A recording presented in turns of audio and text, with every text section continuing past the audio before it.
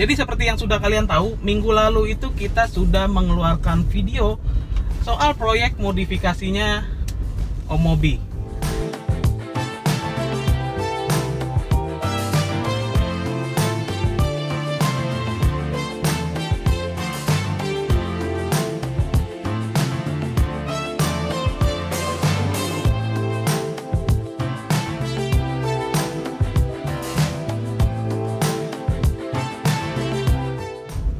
Di video ini kita bakal secara khusus mengulas soal proses modifikasi mesin atau penambahan turbo. Jadi, uh, sekarang kita sedang menuju ke sana, ke bengkelnya, dan kita akan lihat apa saja atau komponen apa aja yang bakal ditambahkan untuk mendapatkan performa yang besar.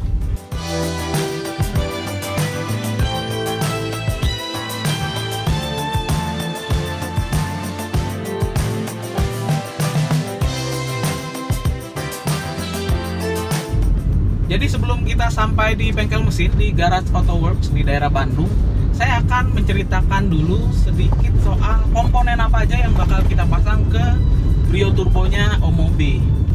Nah, yang tentunya uh, pastinya kita pasang adalah keong turbonya. Jadi keong turbonya ini kita pilih yang ukurannya kecil yang sebanding dengan kapasitas mesin uh, Brio Satya ini yang cuma 1200 cc Lalu selanjutnya kita juga membuat piping custom.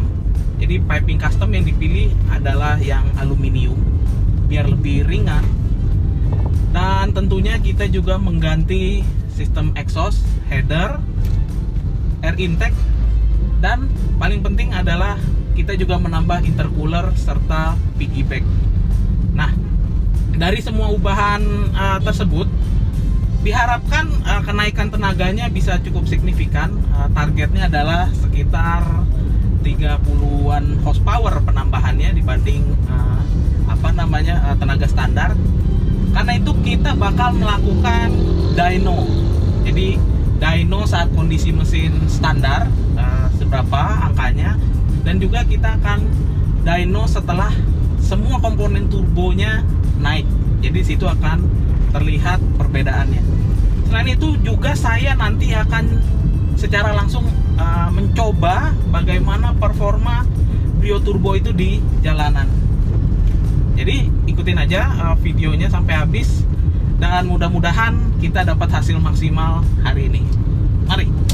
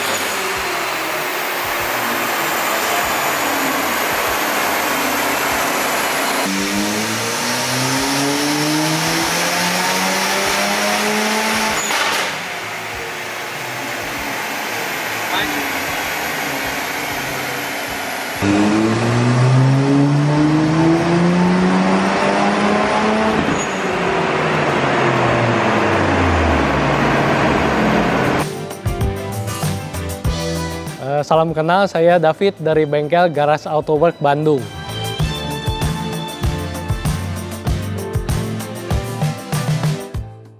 Untuk kalau sep seperti ini Brio 1200 turbonya tentu saja kita nggak bisa dengan turbo yang besar-besar.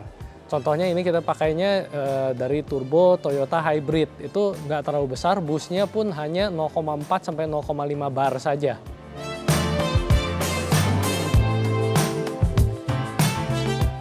Selain turbo, kita pasang juga injektor. Itu kita pasang injektor dari e, Integra Type R K20A.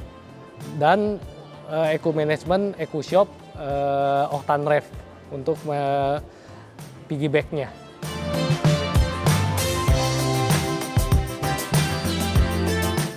Kesulitan sih sebetulnya nggak ada ya karena e, jadi custom gitu. Jadi seperti pipingnya atau apanya kita custom perlu mobil di tempat untuk ngebentuknya aja gitu.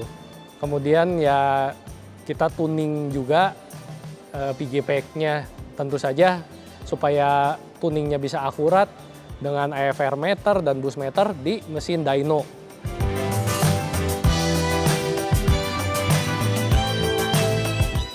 Eh, powernya menghasilkan 102 WHP dan torsi 144 Nm on the wheel.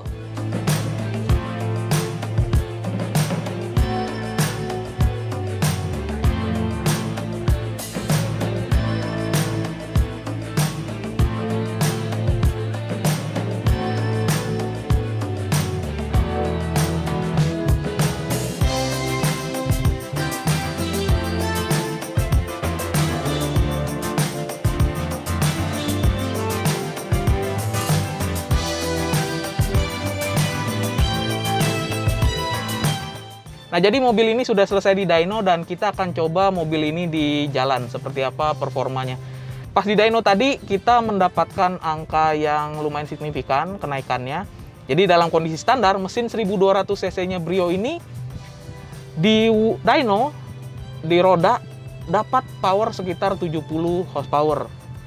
Sementara sebenarnya kalau di apa di brosur angkanya 86 horsepower, tapi itu biasanya kalau di brosur itu pakai uh, apa namanya dyno di crankshaft. Jadi kalau yang ini di roda dan juga dapat torsi, torsi standar di roda yaitu sekitar 83-an Newton meter dalam kondisi standar. Nah, ketika tadi sudah di uh, dyno lagi dengan uh, settingan turbo sebesar 0,4 bar tekanannya, powernya melonjak ke 102,6 horsepower di roda.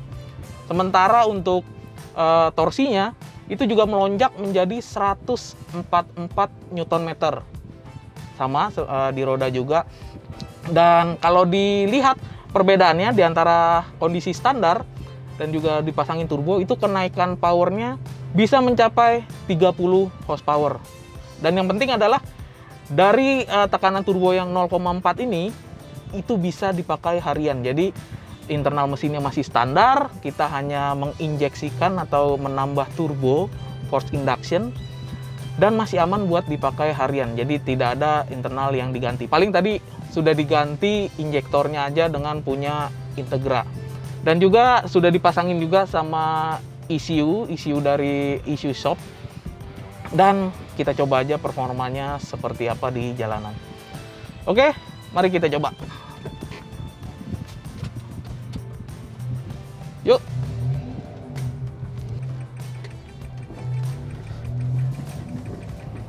Oke.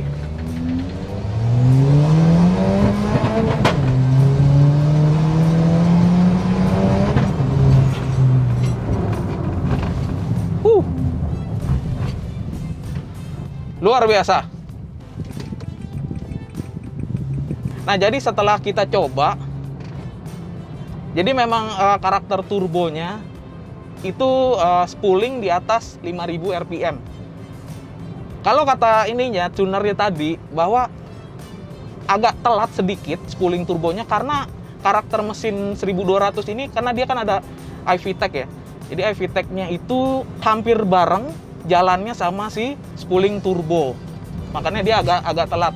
Baru di atas 5000 rpm baru terasa spooling turbonya. Nah, karena ini turbonya kecil dan juga barnya nggak terlalu besar, enak banget sebenarnya buat ngisi kekurangan dari tenaga mesin standarnya. Jadi, tenaga mesin standar dia cuma 8 atau 70 horsepower ya di roda. Dan di atasnya itu biasanya kalau udah di atas 5000 uh, RPM tuh biasa tenaganya ngedrop dan karena ada tambahan turbo ini jadi dari bawah ke atas tuh ngisi terus tenaganya. Dan ketika dia spooling tidak terlalu menghentak gitu ya. Jadi pas banget buat harian sebenarnya. Semua orang uh, yang walaupun sebelumnya belum pernah uh, nyobain mobil turbo itu bisa banget bawa mobil ini gitu. Enak banget. Nah, untuk kalian yang sudah mengikuti proses modifikasi Brio Turbo Mobi ini, jangan lupa untuk menonton juga keseruan IMAX 2021 Pekanbaru, serta tentunya kesempatan untuk mendapatkan hadiah undian Brio Turbo ini. So, langsung saja beli tiketnya melalui www.imax2021.net. Sampai jumpa di IMAX Pekanbaru.